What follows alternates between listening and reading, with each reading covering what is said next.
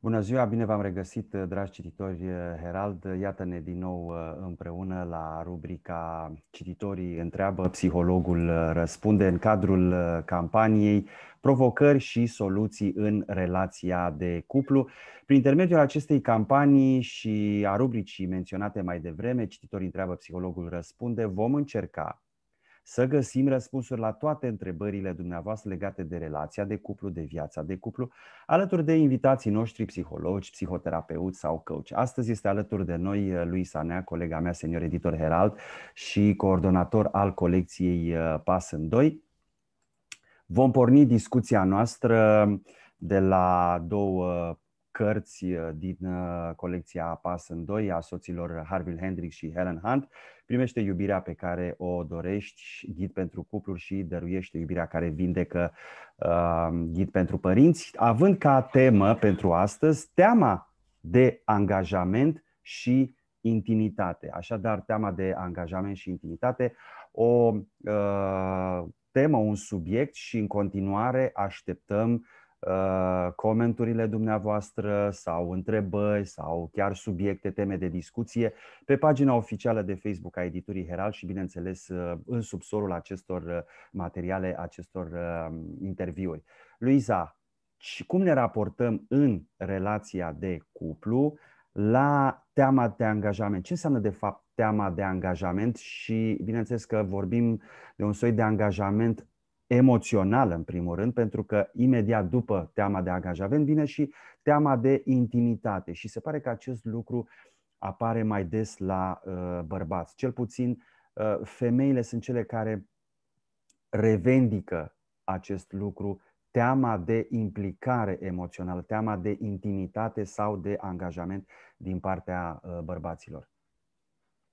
Da, așa mă pregăteam uh, în primul rând, mulțumesc pentru invitație și bună tuturor. Uh, teama de angajament și de intimitate este percepută diferit de bărbați, respectiv de către femei, uh, în funcție, bineînțeles, de nevoile fiecăruia. Din punct de vedere al femeilor, uh, teama de angajament este percepută prin ezitarea bărbaților de a se implica emoțional în în relație. Este ezitarea lor, de exemplu, ezitarea bărbaților de a petrece mai mult timp cu ele sau uh, chiar celebra ezitarea bărbaților sau dificultate de a spune cele două cuvinte sau, uh, bine mergând, bineînțeles, până la ezitarea de a se uh, angaja într-o relație serioasă, de, de a se căsători până la urmă. Nu, preferă să aibă o relație uh, care, mă rog, neoficializată. fără... Neoficializată. Neoficializată, care, mă rog, cumva rămâne acolo o portiță de ieșire, ca și cum uh, bărbații au așa o rezervă de a se implica cu totul, spre deosebire de femei care se aruncă total emoțional și se dedică unei relații de cuplu.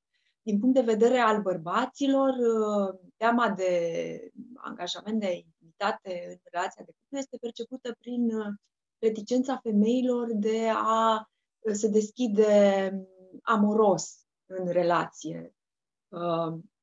Bineînțeles că lucrurile pot fi și invers. Există și femei care nu vor să se implice într-o relație, să zicem, oficializată și bărbați care nu vor să uh, interacționeze intim uh, uh, și până la urmă uh, partea frumoasă este că uh, fiecare dintre ei, dacă oferă în primul rând ceea ce își dorește celălalt, va primi la rândul lui. Adică și un bărbat, dacă vrea să primească, să zicem, o deschidere uh, intimă a unei femei, dacă se raportează la ea într-un mod uh, foarte deschis din punct de vedere emoțional, femeia respectivă va înflori și îi se va dărui așa cum, ea, uh, așa cum el dorește. Și de asemenea, dacă femeia este deschisă uh, din punct de vedere intim și este cooperantă, să zicem, față de nevoile și fanteziile bărbatului respectiv, va constata că acesta se va deschide și emoțional și va fi din ce în ce mai atașat de ea, în mod, la modul psihologic vorbind, din ce în ce mai profund. Deci, cele două nevoi merg mână în mână și ideea este să găsim deschidere și cooperare atât din punct de vedere masculin cât și din punct de vedere feminin. Bineînțeles, problema este mult mai complexă pentru că relația de cuplu este percepută diferit în zilele noastre, uh, dar uh, această evoluție este graduală și există uh, întotdeauna persoane care încă sunt, să zicem, influențate de modul de a vedea relațiile de cuplu din trecut și persoane care, din potrivă, sunt foarte adaptate la mai dezvoltate, poate emoțional, și care văd uh, și mental și care văd relația de cuplu diferit față de cum era văzută în trecut. Dacă în trecut uh, relația de cuplu era mai mult, uh, să zicem, cel puțin relația oficializată, căsătoria era mai mult un contract care să susțină din punct de vedere social această celulă, acest nucleu al societății, bineînțeles familia care trebuia să susțină copiii, bărbatul care venea cu susținerea materială, femeia care se dedica în totalitate căminului și creșterii copiilor, copiilor și, bineînțeles, era total dependentă din punct de vedere material și social de acel, de reușitele acelui bărbat. Și de aici niște roluri și o dinamică în cuplu care făceau, de exemplu, ca atracția și uh, uh, sentimentele romantice în cuplu să devină mai mult un impediment și chiar să fie rezervate unor relații extraconjugale. Făceai dragoste de plăcere cu amanta, nu cu soția. Cu soția era datoria conjugală. Soția era uh, învățată, educată ca să fie cât mai distantă, cât mai reticentă, cât mai zgârcită cu interacțiunea ei uh, amoroasă. Și atunci aceste roluri cumva s-au perpetuat în timp, chiar dacă noi nu știm neapărat, vin, nu știu, din subconștient, nu știm neapărat de ce ne comportăm într-un anumit fel, dar ne trezim în rolurile respective. Apoi, pe măsură ce, mă rog, femeile s-au emancipat, au început să-și recunoască nevoile emoționale și chiar uh, sexuale, erotice și și-au uh, cerut drepturile romantice, ca să zic așa, au vrut să fie uh, amante și în relațiile oficiale, nu doar în relațiile extraconjugale. Uh, a apărut căsătoria din dragoste, nu căsătoria ca o obligație sau ca o datorie cetățenească. Uh, și, bineînțeles, relațiile care sunt în ziua de astăzi, în care nu mai avem, nu mai simțim nevoie de contract, pur și simplu vrem să fim liberi în relații. Aceste dinamici cumva se manifestă uh, simultan și nu este atât de ușor să ieșim din toate aceste roluri care încă ne influențează din punct de vedere subconștient. Astfel încât uh, teama de angajament poate să aibă legătură cu uh, toate aceste lucruri. În ceea ce privește, îl privește pe autorul uh, despre care am început să vorbim, și anume Harville Hendricks, um, are o abordare foarte interesantă legată de uh, modul în care suntem atrași de către ceilalți, dar el lasă deschisă această abordare. Adică, sigur, putem să spunem că există o atracție Uh, pe plan uh, uh, biologic, în care suntem atrași de un partener care, să zicem, ne dăm seama că împreună cu el vom putea să perpetuăm specia cel mai bine, de exemplu. Dar există și o atracție pe plan social, în care uh, suntem atrași de cineva care ne va asigura stabilitate din acest punct de vedere sau chiar din punct de vedere al modului în care suntem priviți de către ceilalți. Pentru că uh, tuturor ne place să fim mândri de persoana cu care suntem împreună. Nu ne place să uh, ne vorbească lumea, uite că nu se potrivesc, că el are, umblă cu una care nu știu ce sau cum. Adică există, chiar dacă noi nu vrem să fim influențați de aceste lucruri, aceste lucruri totuși ne influențează alegerile. Uh, și din acest punct de vedere uh, pot, pot să apară anumite sincope în această implicare și în am și, o, am, și o, am și o completare, dacă îmi permiți, bineînțeles. Uh, vreau da, să te întreb, vreau să te întreb, cum îți explici faptul că, sau care de fapt este mm, cauza faptului că uh, femeile în ultimii, să zicem, 10, 15, 20 de ani, uh, în condițiile uh, asumării unor noi roluri, da? în condițiile, să spunem, emancipării, în condițiile în care poate femeia nu mai este văzută doar femeia casnică care are grijă de gospodărie, de casă și de copii. Uh, și își revendică aceste drepturi la iubirea romantică, da, pe care nu le avea înainte și mă refer că și le revendică în, uh, în relația de cuplu, pentru că despre asta uh, vorbim. Cum îți explici atât de multe divorțuri, o rată a divorțului foarte mare, atât de multe separări, atât de multe relații eșuate? Bine, eu vin cu, o, cu un, un mic exemplu și dacă am dreptate în confirm sau nu, după care tu dezvolți. Oare cumva există o discrepanță prea mare, o diferență prea mare între felul în care este pe drept cuvânt femeia în ziua de astăzi și încă felul tributar uh, generației 60-70 în care o vede chiar și în ziua de astăzi bărbatul?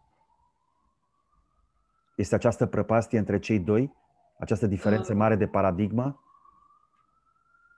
Da, întrebarea este de ce sunt atât de multe divorțuri și dacă cumva asta este cauza. Uh, cred că asta cu divorțurile este un subiect foarte larg. Nu știu dacă se poate răspunde sau nici măcar nu știu dacă am o părere care poate fi pusă într-o singură frază. Sunt foarte multe cauze pentru care sunt foarte multe divorțuri în ziua de azi. Una dintre ele este faptul, simplu fapt că se poate. Se poate să ai, să, să divorțezi. Deci înainte nu se putea? Da, dar e, adică se poate în, mult mai ușor în sensul că uh, societatea acceptă mult mai ușor uh, decât înainte uh, acest statut al persoanelor divorțate. Adică acum e oarecum irrelevant dacă ești Uh, căsătorit sau într-o relație fără contract sau dacă te-ai despărțit sau dacă ești divorțat, adică cumva nu mai este atât de, chiar poate pentru cei mai în vârstă, dar pentru cei tineri nu este uh, și sunt și foarte multe considerente practice datorită cărora unii se căsătoresc sau alții divorțează. Adică E, subiectul e mult mai vast. Bineînțeles că și acest rol al femeii, această prăpastie între cele două roluri este foarte semnificativ. Um, dar cred că uh, dacă ar fi să ne întoarcem la autorul, autorii despre care vorbim, um, e vorba de o schimbare de paradigmă și, într-adevăr, schimbarea rolurilor, rolul, rolul, rolului femeilor în uh, relație a dus la aceste transformări. Pentru că în momentul în care ele au început să devină independente și autonome, um, și rolul lor în relație și rolul bărbaților s-a schimbat. Adică ele nu mai sunt dependente de bărbați. Ele nu mai au nevoie de o relație ca să existe. Relația de cuplu nu mai este pentru o femeie scopul suprem în viață. Și atunci, evident că toată dinamica este în transformare.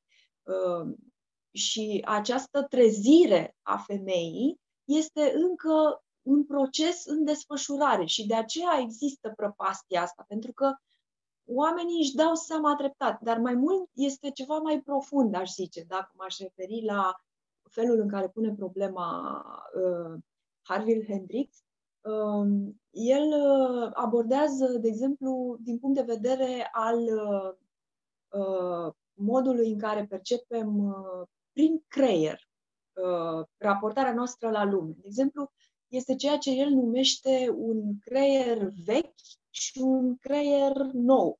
Creierul vechi, format din trunchiul cerebral, care se, care se ocupă cu toate procesele fiziologice, care au, uh, are grijă de trup, de corpul fizic, uh, și sistemul limbic, care guvernează emoțiile.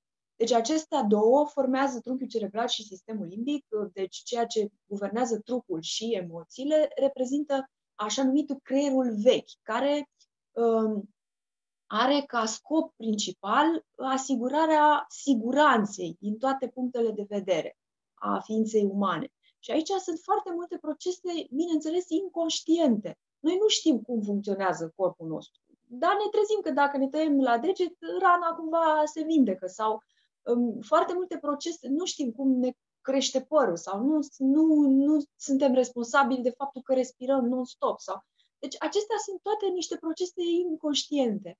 De asemenea, emoțiile care ne cuprind de multe ori nu sunt controlabile. Ele vin dintr-o zonă în care ne scapă din, din primii ani ai copilăriei în care nu aveam creierul, așa zis, uh, creierul nou, atât de dezvoltat, în care nu știam uh, să punem în cuvinte ceea ce se, ni se petrecea. Și atunci am rămas de acolo cu foarte multe rămășițe uh, emoționale care ne câteodată ne destabilizează complet și dacă nu lucrăm, nu, nu ne aplecăm în mod conștient asupra lor, chiar nu înțelegem ce se petrece cu noi. Um, cortexul, cortexul uh, cerebral, așa numitul creier nou, cum îl numește el, este uh, sediul tuturor funcțiilor cognitive superioare um, și acesta se dezvoltă în mod conștient în timp. Și uh, creierul vechi este cel care ne ține, ne face să uh, relaționăm în mod inconștient, în mod imatur, aș zice. Pe când uh, o trecere la o, un mod de a relaționa conștient și matur uh, este făcută prin dezvoltarea acestui creier nou, acestui uh, cortex cerebral, care ne ajută să devenim uh, mult mai uh, prezenți în relațiile noastre și mult mai să, să devenim mult mai intenționali, să, să ne dăm seama ce vrem, de fapt, de la o relație. Că până la urmă, de unde vine această frică de angajament într-o relație? De unde vine frica de a interacționa în mod uh, intim? Din faptul că noi nu, încă, de exemplu, nu ne este foarte clar ce vrem de la o relație.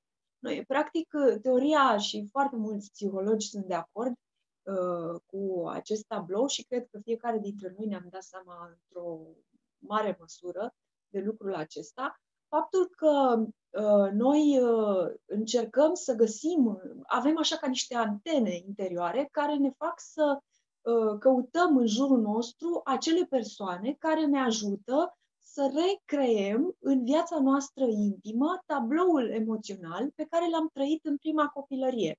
Și de aceea, de multe ori, descoperim în, în persoanele cele mai apropiate, persoanele de care ne simțim atrase, trăsături ale părinților noștri, ale relației cea mai importante, cele mai importante din prima copilărie, cu mama sau cu tatăl, în funcție de fiecare sex.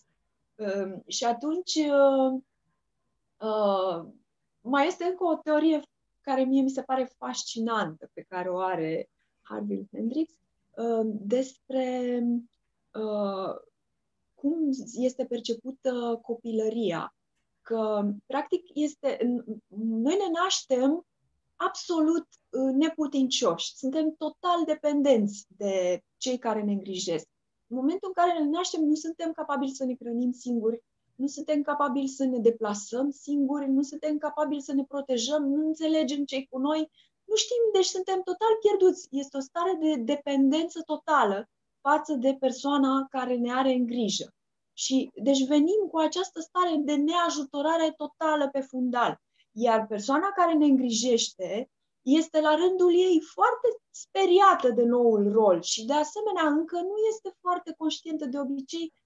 Copiii, um, copiii se fac în tinerețe, când oamenii nu sunt total conștienți și poate puțin, foarte puțin dintre noi suntem dispuși să, poate, mă rog, în zilele noastre din ce în ce mai mulți oameni, suntem dispuși să lucrăm cu problemele noastre, cu traumele noastre, să ne cunoaștem pe noi înșine.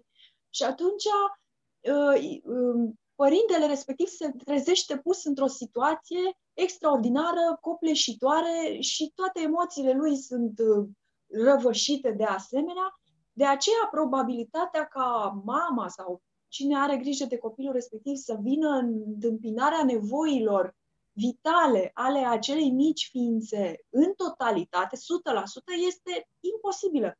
Mai ales că acea ființă nu știe să comunice, ea plânge pentru orice. Plânge că e foame, plânge că e frig, plânge că o doare ceva, plânge că are nevoie. Deci mama respectivă trebuie să fie așa paranormală, să înțeleagă absolut fiecare scânt ce, ce semnificație are. Deci este, suntem cumva condamnați să fim traumatizați în prima copilărie. E cumva un dat și atunci poate că ar trebui să, re, să reevaluăm această perioadă a neajutorării noastre, să ne o asumăm și, de fapt, ceea ce se petrece mai târziu în relație este că noi căutăm o persoană care să ne rezolve toate aceste neîmpliniri și traume rămase subconștiente, inconștiente din prima copilărie. Și atunci, uh, de cele mai multe ori, dacă noi nu avem dezvoltat creierul superior, creierul acesta uh, al, nou al funcțiilor cognitive, nu, încă nu știm să ne, să ne înțelegem foarte clar, Uh, vom fi foarte reactivi și foarte uh, defensivi în relație. Vom, vom pretinde, vom avea așa o atitudine infantilă a unui copil care vrea să îi se dea și să îi se facă, exact așa cum aveam și cum ni se părea normal în copilărie, că până la urmă nu. E normal ca celălalt să vină să mă hrănească, e normal ca mama să-mi dea mâncare, e normal ca mama să vină să uh, se alarmeze dacă eu plâng că nu știu ce. Da? Deci acest acest uh, setup uh, infantil în care noi ne zmiorcăim și uh, vrem să ni se acorde, este reacția infantilă la frustrare, o numește foarte drăguț Harvey Hendrix, plângi sau critică. Și noi facem cu toții asta în relații, pentru că ne, ne aruncăm în relații în funcție de această pornire interioară, de această atracție pe care nu putem explica de fapt. Dar, de fapt, despre asta e vorba. Noi vrem să ne împlinim acele nevoi rămase neîmplinite în prima copilărie și proiectăm asupra ființei de, no- de lângă noi uh, toate aceste calități de care avem noi nevoie. Ei bine, uh, Harvey Hendrix propune un mod, acum ca să, să închidem uh, frumos și rotund discuția pe care am început-o despre uh, angajament. Cum apare angajamentul? Am înțeles cum apare teama de angajament. Să vedem acum cum apare totuși angajamentul. Ce anume ne face să fim angajați în cuplu și să, uh, să ne asumăm, practic, o relație. Uh, ce ne face? Ne face maturizarea noastră, asumarea noastră ca ființe umane. În momentul în care ne dăm seama că celălalt nu este lângă noi Uh, ceva, un fel de Superman, Superman sau Superwoman care să ne salveze. Nu este un salvator, ci este o ființă la fel ca și noi, care vrea și ea să-și îndeplinească nevoile, care vrea și ea, care are și ea traume, la fel ca și noi. Cumva um, ajungem să, să ne punem relația pe un plan de egalitate între noi și celălalt. Uh, și ce mai spune Harvey Hendrix și mi s-a, mi s-a părut extraordinar și foarte Uh, așa m-a, m-a umplut de speranță uh, este faptul că în momentul în care uh, depășește acest mod al creierului vechi, acest mod infantil de a te raporta, raporta într-o relație, devii creativ. Deci este o invitație la creativitate să ne folosim creierul nou în relații. Și atunci um, celălalt devine, practic, într-adevăr, relația. Noi scopul nostru nu mai este să obținem de la celălalt să ne îndeplinească, de exemplu, nu știu ce dorințe și nu știu ce nevoi. Nu mai este uh, cumva scopul nostru să ne folosim de, de am putea spune, la limită de celălalt, ci nu, nu ne mai gândim ce trebuie să ne dea o relație de cuplu, ci ce trebuie să dăm noi într-o relație de cuplu. Adică um, nu mai stau, stai că încep să mă răvășesc, să spun mai întâi uh, aceasta cu, cu creativitatea. Uh, dacă, de exemplu, și de un exemplu la un moment dat, uh, suntem la micul dejun și um, să zicem că bărbatul respectiv a prăjit, mă rog, spune acolo niște vafe. Să zicem că am prăjit pâinea și am lăsat-o prea mult în prăjitor sau s-a întâmplat ceva, s-a prăjit prea tare. Și femeia începe să găsește motivul, pur și simplu se trezește în rolul acesta de, de uh, justițiar și începe, iar ai făcut, iar ai prăjit, iar ai lăsat-o prea mult, iar nu știu, tot timpul irosim mâncarea în casa asta și taca, taca, taca, taca, știm noi cum. E, el poate să devină defensiv și să zică, da, da, și tu, uite că și tu ai vărsat nu știu ce și nu știu ce ai făcut, sau poate să conștientizeze ceea ce se petrece, să-și folosească, nu așa, creierul nou, să devină o ființă matură și asumată și să zică, da, ai dreptate, ar trebui să fac ceva cu prăjitorul ăsta, să nu știu ce, și, într-adevăr, ar trebui să nu mai Adică, cumva, fiind deschis, venind în întâmpinarea problemei pe care o are cealaltă persoană și fiind uh, de partea ei, cumva, cealaltă, în mod natural, va simți nevoia, poate, să, să fie și ea, să zică, da, mă, de fapt, sunt stresată că nu știu ce problemă am la serviciu, ei, las, o să fie bine. Și atunci, uh, cumva, se schimbă raporturile. Asta e doar un, un exemplu simplu de, de rezolvare, să zicem, a unui conflict minor, dar cu toții știm că ele apar uh, așa la tot pasul, mai ales când conviețuim împreună. Um, și de, um, în care putem să venim în întâmpinarea celuilalt asumându-ne că noi suntem în acel cuplu și nu vrem să îl, îl tragem la răspundere pe celălalt pentru că există, ci din potrivă vrem să îl, îl, să-i susținem dreptul la existență până la urmă. Um, mai este și abordarea, de fapt, faptul de a ne asuma o relație vine natural în momentul în care suntem suficient de dezvoltați uh, psihic, în momentul în care suntem suficient de maturi, suficient de uh, asumați. Uh, și cealaltă idee la care voiam să ajung uh, era despre modul în care Hartfield Hendricks uh, abordează terapia în cuplu, trezind acest, această stare de asumare, de angajament în relația de cuplu, Uh, de exemplu, setând un, un număr minim de ședințe de terapie. Adică, pentru că el a observat că uh, după primele 4-5 ședințe există, uh, se manifestă o rezistență și cuplurile renunță la terapie din diverse motive, că n-au timp, că, nu știu, bani. apar motivele. Și el le spune el de la început, dacă vreți să obțineți rezultate, trebuie să facem minimum 12 ședințe. Asta înseamnă că ei își propun, își propun un scop. Și apoi uh, uh, nu se mai, cum să zic, uh, frustrarea lui venea din observația că dacă la început, bineînțeles, cei doi care veneau în cabinet se certau în continuu așa, tot ce reușea el să facă în calitate de terapeut era să le, să le ofere un cadru uh, instituționalizat sau un cadru în care să se certe organizat. Adică ei nu se mai certau din, ajungeau să nu se mai certe din motivele în care se certau natural, ci se certau, din, se certau pentru că, de exemplu, nu respectau ce le-a spus terapeutul, nu respectau contractul. Uh, uh, și atunci era, deci simțea așa că nu, nu evoluează în terapie. Și atunci a, a descoperit uh, o altă abordare și anume să se raporteze la uh, relația dintre cei doi și să-i pună la treabă uh, în ceea ce privește această relație. Este o abordare infantilă să vrei ca lucrurile să meargă de la sine într-un cuplu.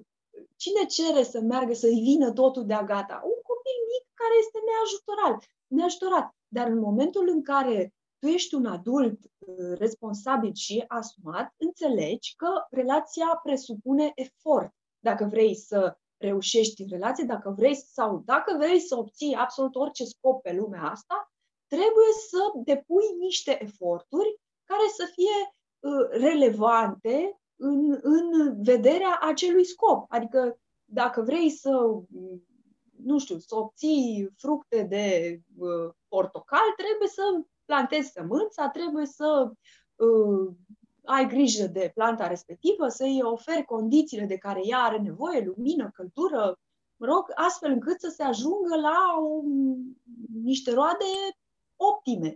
Da? Deci așa funcționează natura pe toate planurile ei. Și atunci, uh, în momentul în care înțelegi că dacă vrei să obții rezultate în cuplu, trebuie să depui anumite eforturi uh, care sunt adecvate cu scopul pe care îl dorești tu, uh, începi să lucrezi efectiv la dobândirea acelui scop. Și calea pe care o deschide Harville Hendrix este să ne raportăm la relație în mod conștient. Adică fiecare dintre cei doi să spună ce dorește foarte clar, să mediteze asupra acestui lucru, ce doriți voi de la această relație. Cum o vedeți? Cum o, cum o uh, cum, cum vă vedeți voi în această relație, dar la modul foarte, foarte clar și concret. Noi, nouă ne place, și chiar să le pună la timpul prezent, nouă ne place să ne bem uh, ceai împreună de dimineață. Nu ne place să mergem împreună să facem nu știu ce. Ne bucurăm când uh, nu știu ce facem.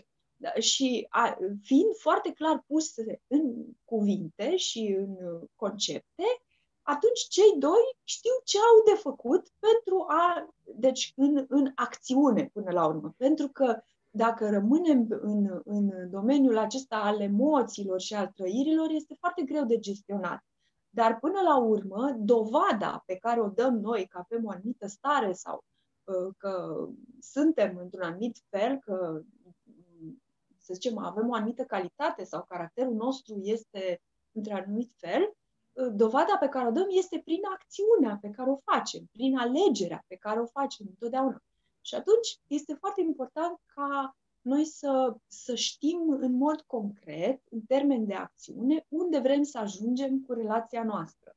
Uh, asta înseamnă, până la urmă, angajament și asumare într-o relație. Angajamentul vine natural în momentul în care noi avem uh, uh, în interior structura construită care ne permite să ne angajăm în mod natural. Dacă nu avem, atunci trebuie să lucrăm. Dacă observăm că ne vine să fugim dintr-o relație, trebuie să lucrăm cu acea frică, cu acea fugă. Ce se află în spatele acelei fugi? De ce ne e frică?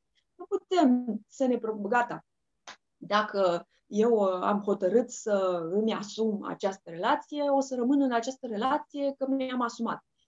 Nu o să meargă, o să scrâșnim din dinți, o să, nu o să fim naturali, într-adevăr. Culmea este că această naturalețe se educă, dar trebuie să fim deschiși la această educație. Și cred că am vorbit destul.